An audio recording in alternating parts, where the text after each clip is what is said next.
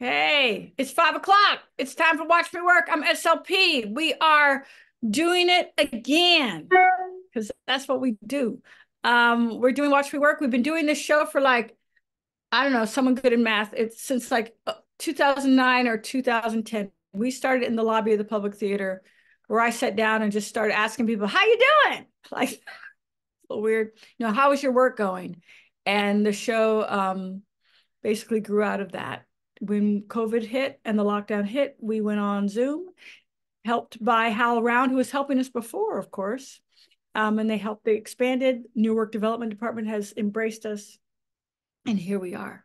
So um, we've got Amrita, we've got Zoe, we've got Haley's Comet, and uh, all helping out. And we've got the folks from HowlRound anything so so what we do we do it uh, the same thing every time we meet. We work for 20 minutes together and then i take your questions about your work and your creative process while we don't have time to share work specifically we do have plenty of time to talk about process.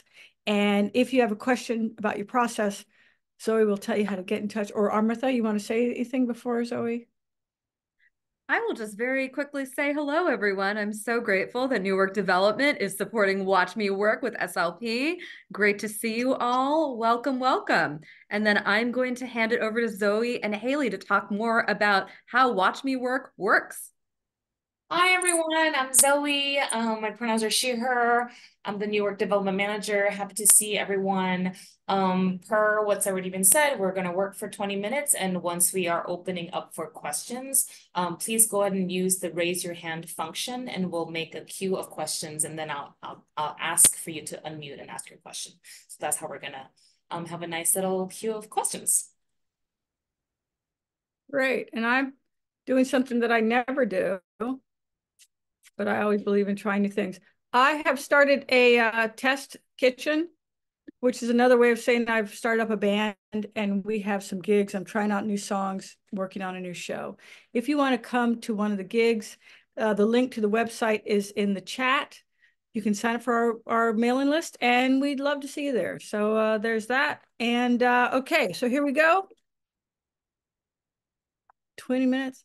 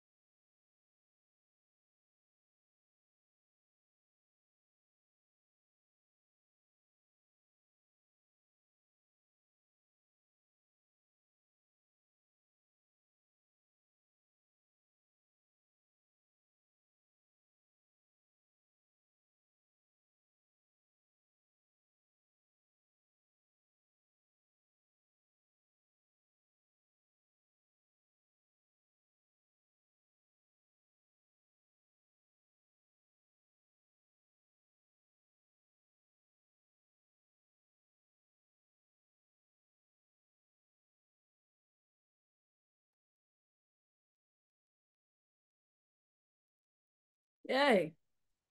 Okay. So, um, if you have questions about your work, your creative process, you want to talk about how you're doing, whatever, we are here. Happy to see you. Welcoming the people who haven't been here before, if there are any. Welcoming back the people who have been here before. Yes, if you have questions, please go ahead and use your raise the hand function and we'll go ahead and call your, your call on your name to unmute. Mary, please go ahead and unmute yourself. Hi, I don't know what this means, but my Mount Holyoke College pen ran out while I was doing my work. I'm also a Mount Holyoke alum. I think the ghost of Mary Lyon was trying to speak to us. Yes, and um, what do you think she's fellow, as they call them now, mohos? Mohos, we have, yes.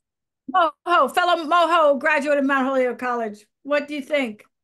Um, what is your process when you are working on something? Like, how much of your day do you give to writing and still have time to do other things like laundry and taking care of your family and then time for yourself? That's great. Um, yeah, and it's a, it's a so our the way we slice our days, you know, the sandwich that we make uh, with our days, it's it's uh, it's uh it's an ever changing sandwich, and we should all do what works best for us. So, I mean, I was re- watching some um, wonderful, you know, one of those American Master shows, or well, maybe it wasn't that. It was some great show about some great writer who happened to be called Ernest Hemingway, and um, you know, Mr. Hemingway apparently when he was living in Key West would in the morning, you know, from whatever time to whatever time, he would be up in his upstairs study and the children would know that dad was up there but they couldn't bother him, you know. And then he'd come downstairs after lunch and he'd go fishing on a boat, you know.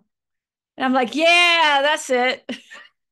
So at, yeah, um, you know, my son walks in my office at right after he gets up, and that's how the day starts. But what's so any anything works basically. Whatever works for you is what's going to work. Uh, my son comes in my office um, at six o'clock in the morning, and he reads aloud because I like to hear him read. He needs to read. But I have did it did it. I have these wonderful things, earplugs and I put them in my ears and he's uh you know a foot away from me reading out loud and I'm writing. So whatever works and I uh sometimes it's 3 hours, sometimes it's 20 minutes. Um whatever work I would say try to do something every day. Do something every day. I mean right you know and do something and maybe you have lots of somethings, you know. Uh, maybe you have to practice an instrument and that's you can do that for 20 minutes and then you can write for an hour or uh, you have a subway ride to your day job and you can write longhand in your notebook on the subway. Just put in the time find a way to put the time in. Does that help mary? I mean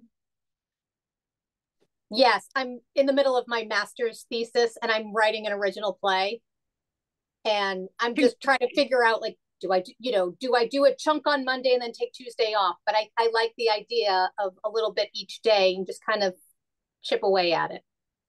Yeah, yeah, and uh, I think also my what might help is choosing your favorite time of the day. Like, what is your favorite work time of the day? Is it morning? Are you an afternoon person, a night owl? What do you think? But definitely not a night owl. I'm gonna I'm gonna go with morning. I usually start teaching in the afternoon, so I have this like chunk of time in the beginning of the day. So take take some of that, at least some of it, you know, every day. Even if you only have an hour, you know, before you have to prep for class or you know, your other responsibilities. Um yeah, I I would say meet it every show up because you're like you're sort of uh, you're you're making yourself discoverable if you will you know what i mean and the muses have to know that you're you're there and you're discoverable and I'd like to make myself discoverable every single day. Once I did one of these with you a couple of years ago, and you told me about index cards, and yeah. I I stole that from you, and I love it. And my husband to this day is like, "Why are all these index cards around? are these important? I was like, yes, it's just my thesis and index cards, but That's great. And you can carry them in your pocket, Yep. right? And are those colorful index cards? Are those are those a fun? So for the the actual pay for the play, it's this. For I'm writing study guides for secondary school educators. They're a different color. There you go. So Yeah. I mean, we we we want to make it fun. You know, I was saying, how do you how do you game the system or how do you game your system into I want to engage in that. You know what I mean? Uh, because if it feels too much like work, sometimes it's eh, but it's it's actually you're going to game your own system into into playing. I like what No. you said about the muses. You have to remind them daily that you are there. So thank you. I Yeah. greatly take Yeah. your advice. Thank you, Mary. Thank you. And yay, Mount Holyoke. Yay. Yay. Thank you, Mary. Charlie, please go ahead and unmute yourself to ask your question. Thank you. Hey, Charlie. Hey, SLP. Um, I'm in this really nice place right now. My co-writer and I are just, we're probably like one session away from finishing a first crap draft of something. We've been having a lot of fun with it. Um, and but but I, I and then we'll take a little break and then come back and see, but try to better see what we have. But we haven't, you know, we haven't been trying to be too objective or whatever. We're just like flying with it, feeding off each other. It's been fun. Uh, but that was floating around up here. Any thoughts about like, without ruining all the fun, but still getting Mhm. back and trying to see this a little more objectively? Any thoughts about how to get down without going too low and getting all pissy about what we did? Right, right, right. Um, so how long are you going to take as a pause between? Um, finish no more than a week, maybe less. Great, Yeah. short. great, great. Okay. Um, so you you neither of you are going to read it at all? I don't know. We haven't decided. Yeah, I, I I'd be, have a hard. I mean, if that was the right thing to do, we would. I I probably will take it out and read it through once before we get back together. Just- Okay. Are you going sort of to? curious. Sure, sure. So are you going to read it like um sitting down or standing Yeah. up or what? Probably sitting down in a comfortable chair. Okay. Okay. Okay. I mean, if you say Um, I should like be doing wind sprints or something, I'd listen to that. But no, I'm just thinking. I, I want it. I want it to be pleasant for you. How about um, you can. I mean, do something silly. I'm just making this up. Let's see if it makes any sense. You can, uh, yes, do like uh, say every five minutes. You can set your timer. Every five minutes, you're reading. The timer goes off, and you have to compliment yourself. Oh my God, that was such a thought. Oh wow, good job, man. Good job. Like that. You just just try that. It could be it could be it could it's making you laugh now. well, You but could- it could it's be also fun. assuming that I'm gonna be. I mean, I might start reading it and still really enjoy it, which would be There you great. go. I, I don't know that I'm going to overshoot, but just like, but I also, I also want to like get out of my own head a, a little bit. Well, then then then we go into the wind sprints. So then get up out of the chair and read it aloud. Ah, You know what I mean? That's that you get it out. You want to get out of your head, then you got to get it off your butt. And excuse my language, but you gotta, I mean, standing up, reading it aloud, you know, and and I would still suggest some kind of reminder in there to compliment yourself every once in a while. Because this isn't like saying that you're not going to like it. This is saying get out of your head and put the responsibility of complimenting yourself on something else. So this is taking it off, off your plate, if you Ah, will, yeah. putting it on the plate of, of the timer, letting the timer take the responsibility of reminding you. You know? I like So even if you're in, enjoying a scene, whatever, bing, bing, bing, oh my gosh, this is such a great scene. Great. Go back to it. You know what I mean? It it um it helps you get out of your yourself. And then when you read it with your friend, when you get back together, I don't know what you if you like to drink wine, you might involve wine. You know, if you if you like that if you don't then please don't you don't start drinking uh because i suggested so but if you if you're someone who enjoys a glass of wine you might want to share a glass of wine with your friend you might even want to open a bottle of champagne and celebrate make it a party Thank you. I will try some of that.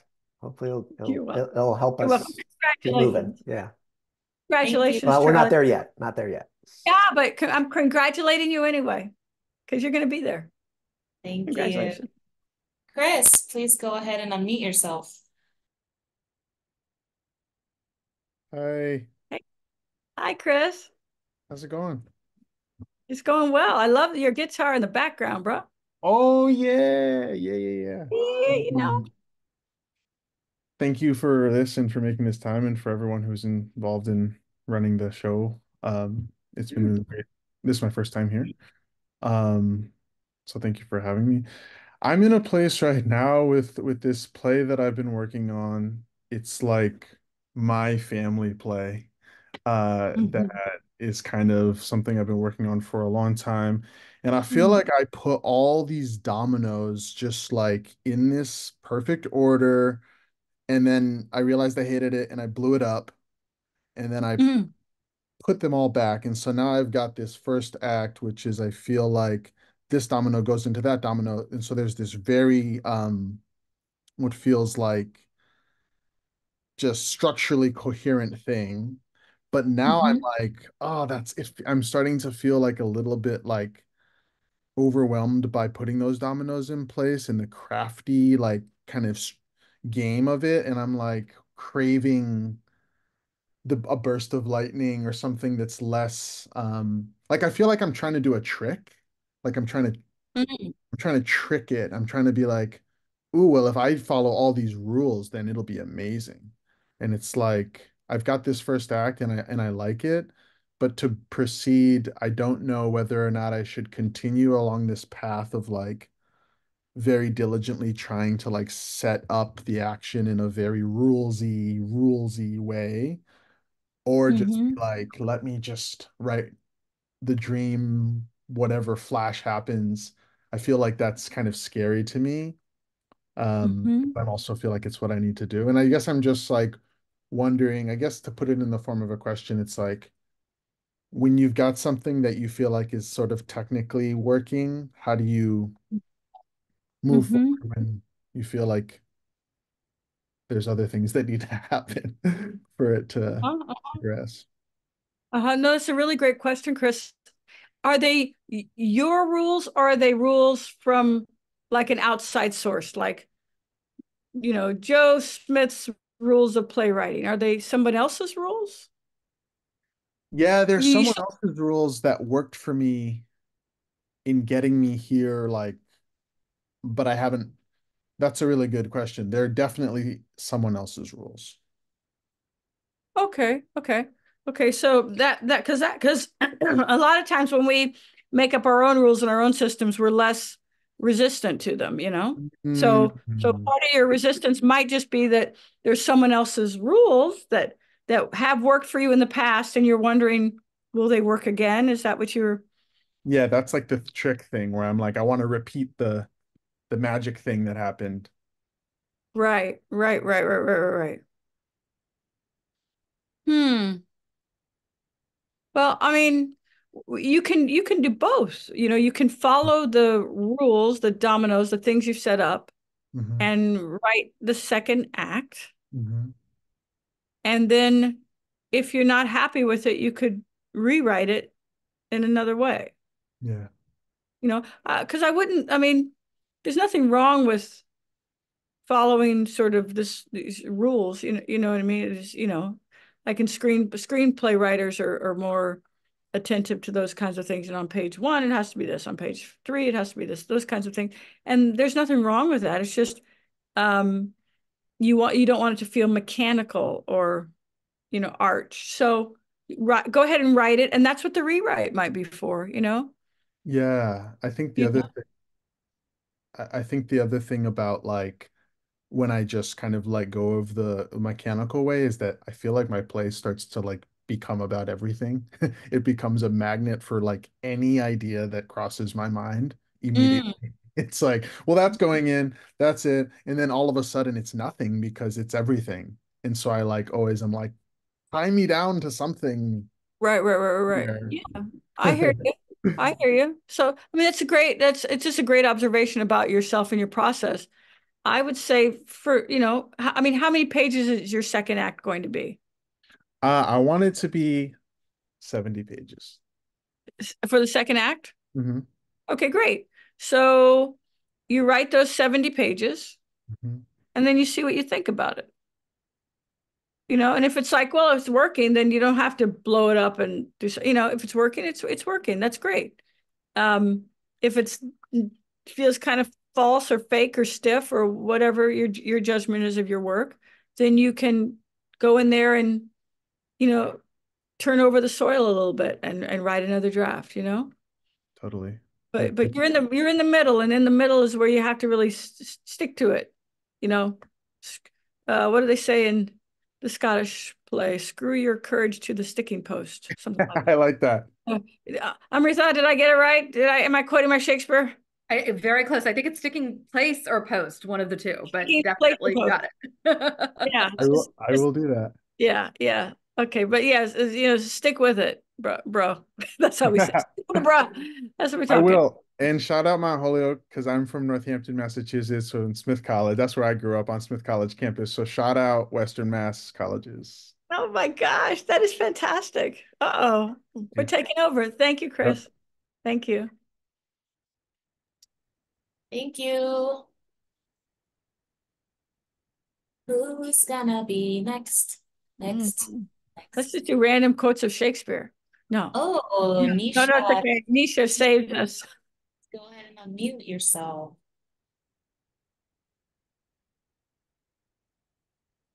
Nisha. Apologies. Uh, I think I'm unmuted. Am I? You are unmuted. Yes. Yes. Okay. Thank you. So my um hello all people.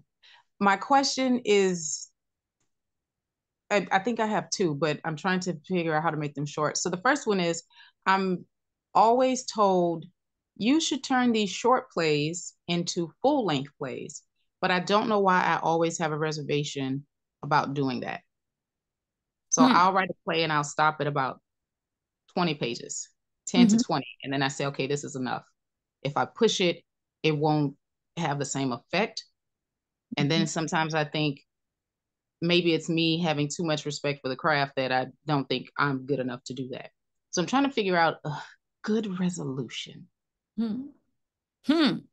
I appreciate uh, and admire you tremendously for like saying, "Hey, this is how long it should be." Sam Shepard, the great playwright, Sam Shepard, who passed away uh, not too long ago, had a wonderful essay called um, Time, in which he talks about how, to paraphrase horrifically, a play should be just as long as it is. You know what I mean? Because he would write plays of all sorts of lengths. And um, he was really feeling like, you know, sometimes plays should only be 10 minutes. Caryl Churchill has a great play called far away. Is that what it's called? Someone's it in Louisiana. Far I away. that it is. I just read that. Isn't yes. it amazing? Yes. Like you don't want it to be any longer. It's just like boom, and you know, a lot of information in a right? amount of time. I right. Right.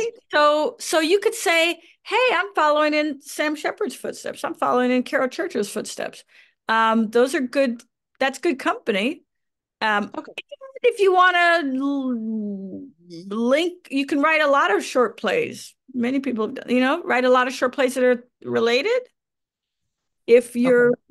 producers are asking for like an an evening of theater, um, but I I, I do think um, that just just if your characters have more to do, then by all means allow them to allow them the ability to do it.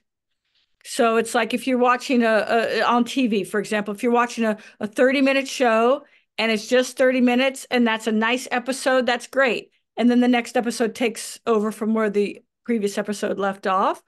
Um, that might be what you're writing, you know, some some some and that's cool too. Uh, we have all these forms now that we can write in. So feel confident that if you feel good about the length, then then feel good about it. Yeah. Okay. Thank you. Also, my name is pronounced Naisha. Okay. And my second question, um, this one's a little different and also tricky. When writing about Black males, there's been this debate. They are often emasculated in in media, on stage, and screenplays. This is what I've been hearing. I'm not 100% certain. So I'm trying to understand if I'm going to write from that perspective, how can I tell a story without making them seem emasculated? Seem, that's a word that Hamlet likes to use. Um, what does he say? I am not seems, something like that. Anyway, what people perceive and what we write are often two totally different things. Mm. You know, so I'm thinking, okay, all of August Wilson's plays, I would I say there are a lot of black men in those plays. I ain't seen none of them emasculated. Uh, Thoughts of a Colored Man was on Broadway a couple years ago. I didn't see those brothers didn't seem emasculated to the like to me. Top Dog Underdog, they weren't emasculated. I mean, they were all these men. The Othello, that's not an emasculated man these men are seem very powerful and wanting things and everything that great characters should be. So I don't know what you're reading. Stop reading. stop reading those. Stop reading those those books and articles because I don't think that they don't they don't jive with any reality that I've seen. Um, I don't know what it you know. And if you're going to write a character, just be true to what what does he want? How does he get it? What's he going for? You know, what does he love? What is he moving toward? What is he moving away from? All the things that any other character would need and want to be authentic on the page and on the and on the stage. And you you write a, a you know a black male character just like you write a black female character just like you write a horse of a different color. I mean, a good character needs needs great things. You know, does that does that make sense? It does. It does. It actually uh, solidified an argument that I presented uh, to other people who were telling me about um, that topic of emasculation. And I pointed out, I use the same reference. August Wilson's plays aren't like that. Um, and Troy and, Fences? Yeah, I've, I've read all of his cycle plays. Um, I've read a lot of plays about those characters, but I just wondered if one one that I wrote, a lot of people told me the character was too strong and a lot a lot to take in. Um, so I guess I guess in my mind I was looking for validation and maybe I received it. Too strong, you know, too strong, too much, too you know. I mean, and also people have the right to their opinions and and you know, we, we need to take in what helps and and leave the rest. And I will consider this. Thank you very much. Thank you, Naisha. Thank you. Thank you, Naisha, and thank you for teaching me how to say your name. Um, um, we actually got a question in the HowlRound chat. Right on. Do you, ever feel blocked because you have too many ideas and don't know how to get them all out coherently? How do you navigate that bottleneck of thoughts? Yeah, that's a great question from the chat. Uh, um, I, I I feel it's it's very helpful to do one project at a time. You know, even if you're just you know you can make a list. I can't show you my my desk is is a is a pile of lists and inboxes and and different boxes for different projects. Um, because I work on different projects every day, uh, you know, throughout the day. And so, I, but I, I really work on, I really practice working on one project at once. So right now, this is the project I'm working on. Watch me work. We're talking to you, you know. Um, I really work to focus. Um, and if you just say, okay, I've got 17 projects I want to work on today for the next 20 minutes, I'm just going to work on project A and you just focus on that project, you know? Now, okay, now I'm going to work on project R. I'm just focusing on that project. Um, and after a while, maybe you'll prefer to work on project A most of the day or most of your during most of your work time. Um, but just you know, train yourself to just work on one project at a time. Um, it's the same thing like when you're talking to someone, don't also be reading your phone. Just talk to them. Just talk to them. You see, you, you know what I mean? Um, it's kind of one that I have to practice too. Also, is that is that helpful? I hope I can't see your face while I'm talking with you, but I would assume it was helpful. okay. Yeah, I That's think funny. you crushed it, That's funny. That's funny. That's funny. That's funny. Yeah. but it- Um, Just the theme is do it, try to do a little bit. You know, blocked is when you don't want to do nothing. Try to do a little bit, little bit. Try to do a little bit. Yeah. but uh, Crystal, please unmute yourself. Hey, Crystal. How you doing? I'm good. I'm Good. well. How's your shoulder? You know, it's doing its Healing. It's healing. It's healing. Yeah, I can do this. Oh, Um, thanks for asking. Sure. Um, so um, I'm working on the play that I was telling you about. Yeah. Um, uh, the two women, where I'm trying to figure out the time, even though it does take place. The the beginning takes place at a sit-in, but I didn't want to do it in 1960. Uh-huh. Um, so I'm I'm kind of uh, playing around with um, I guess I don't uh, maybe like his history in the sense that like I'm I'm put I didn't want to put it in a specific place in a specific time because I feel like I wanted to kind of put it it create my own world in which it's applicable but not uh not to the T of what has happened or would happen. Do you know what I mean? Um so I so I uh, okay, like you know, I- so I'm trying to do like you know his historical things, but not like, but not like okay, this happened in 1960, so this story is going to take place in 1960. I actually want it to take place probably maybe in the 50s um, or the 30s, but I don't know. I, this was the issue I had last time when I when I said, and you said, you know, write ignorantly, and and and I and I'm doing that. I'm totally doing it. Mhm. Um, but I haven't set like a, you know, I, I know what state I want it to be in, but I ha I haven't necessarily said like, oh, it'll be in this city. Um, and I haven't said, oh, it'll be in this year. I've just been taking events the way I dreamed this story. Um, it's just it's just like of events that keep happening that cause the characters to either get closer or separate. Um, so that's actually not even my question. Um, my question is um, I'm writing out of order, uh, and it and it's it's still coming along. I'm still actually like I don't know if I should be smiling when I'm writing, but I'm like, wow, this is really coming out. Mhm. And um, but there's one scene that is especially violent Mhm. And Mm. um, I have a very uh, strong reaction to like writing it. I know I have to write it.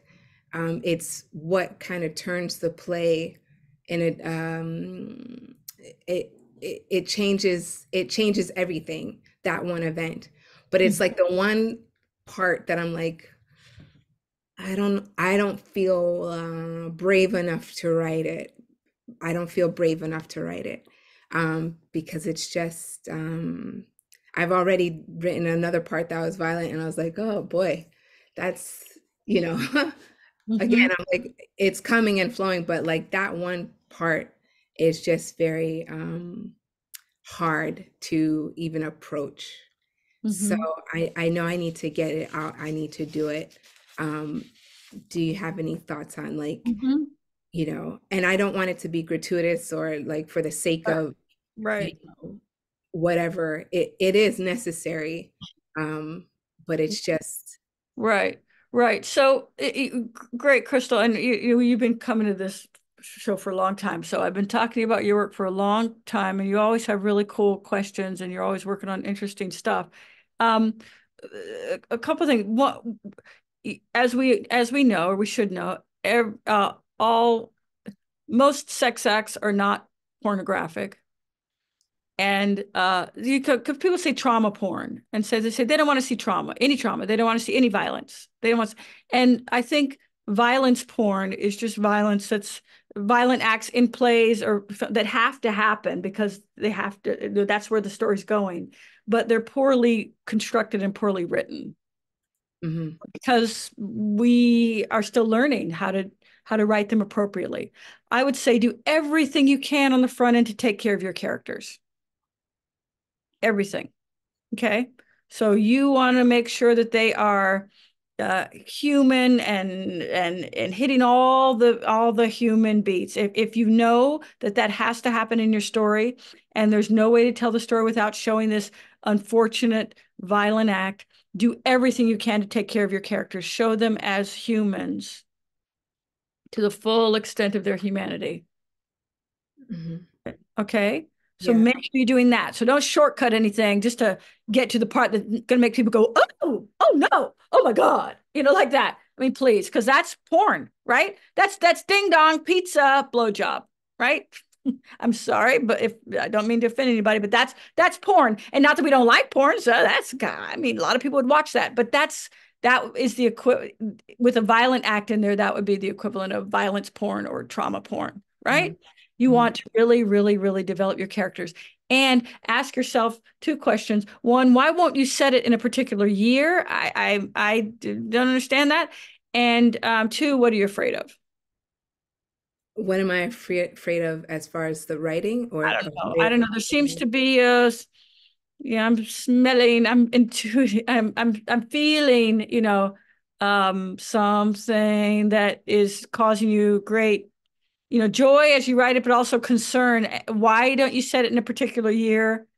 Uh, it could happen in the 30s. It could happen in the 50s. It could happen in the, I mean, what's up with that? I, I don't understand that quite. I I don't understand it quite myself either. I I I I I I wanted to I I wanted to write something that was like this this could happen, but I don't know how to explain it. Like I I I don't know. I don't I don't have a good answer. I don't have a good answer. It's just, I'm just, again, because you are showing a, a, a violent act in a historical context. And so, again, take care of your characters. Mm, You know, you have to, for lack of better, earn it. That's horrible. But you need to really, they need to be human. They need to be authentic human humans for that to really, uh, you know, for you to be able to write that. hmm Um, so, um, does that go for the person who is doing the? Yep. Mhm. Yes. Oh, yes. And that's the hard part about it. Yeah. Everybody has to be a human. Yeah. Yeah, we can't only make the the victims the humans, you know what I mean? And the and the person doing the the, the crime, whatever, he, they're ah, you know. No, everybody has to be a human. That's what I'm talking about. And and and they might draw some of their humanity from a particular historic context. If it's 1957, that's very different from 1964. I'm not saying write write ignorantly. Just sure, get it out there. Right. Um, um, but uh, last week, your I mean, last time your question was more concerned with the the uh, voice, the the the the language, the vernacular used, and that's what I was referring to when I said right. Just don't worry about getting the vernacular correct. Oh, right. Yes, you're right. Yeah, yeah. I didn't say you know the other points. I you know Yeah, you're choose a right. year. Choose a year. Choose it. Choose a year. You've already chosen a city and a and a. What dear, it's five fifty eight. Oh, okay. No, no, no. I'm just looking at. I'm just going. Oh, it's five fifty eight. Okay, but check in, check in next week. Let's let's check in again. oh, for sure. Thank you. Last question. I, Batari, please go ahead and unmute yourself. Hey, Hi, um, I like to say I'm a Smith College alum, so it's nice to see other Western Mass people here. Um, but my question is, two years ago, I wrote this 10 minute play for this 24 hour festival and decided just to revisit it. And my theme, the theme was like Chekhov, so I wrote about Uncle Vanya, and and I shared this play with someone, and I wrote about like kind of brought it up like Stanislavski was a character, kind of touched upon Uncle Vanya, but also not. Mhm. And I realized I actually liked that draft and wanted to work on it, but because someone said I can, I totally see Stanislavski like this. I, I, he, this is how he would behave. I'm like, oh, I wasn't trying to be so reality based, and now I'm just like afraid that if I work on it and change things that it I don't know. I feel like because it's like Stanislavski and Uncle Vanya, you can't my mind's like you can't um make it too out there, I guess. You have to follow like reality, I guess. And I'm just like, how do I get out of that space and just work on this dra um fix this draft and make it what I want without having to stick to what I think yeah. yeah, Yeah. or what they think or what somebody's thinking. Yeah. So how do we? Yeah. Um. Do you? Ha does it have to be Stanislavski? Kind of, yes. But also no. Because why? So it's like it's my first time using real people. It just needed to be people who were in that first production of Uncle Vanya. So it Could be just someone we'd never met. that's true. Maybe Stanislavski's like assistant. Oh, You don't yeah, know. You know. You don't know. You know. They never heard of him.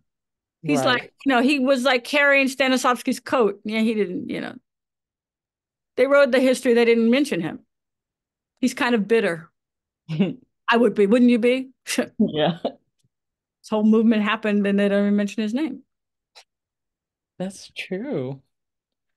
You know, there are there are so many ways to get around around these around these rules, people. right? So Right. so you know, you could, you know, try that. Yeah, okay. Let me just see what happens if I swap that character. Yeah, just make him the guy who wasn't his name wasn't written down in the, you know, when they wrote the history of the thing. I he- could even be like a POC. Shit. Right? I mean, whatever you want. That's the thing, you know, we're free. And we will continually remind each other what that means. Mhm. Thank you. Thank you. I'm going to put this thing in the chat again to remind you guys. I have a test kitchen and it's uh meaning I'm going to be hanging around town playing music as I work on a new show. Uh and so uh if you want to get on the website, I mean on the mailing list, join the band's called Sula and the Joyful Noise, which is a nickname that my dad gave me years ago. So Sula and the Joyful Noise, I have a brand new six-piece band. We're having fun. I love hanging out with you guys. You guys, you all, you people. Um, Yes. thank you, uh, Public Theater. Thank you, HowlRound, for hosting us and embracing us and making this just a wonderful, wonderful experience every week. Will we be back next week, Zoe? Please tell us. Yes. Zoe, See ya. yes. We'll see you. Thank you so much. See you next week, everyone. Bye. Right.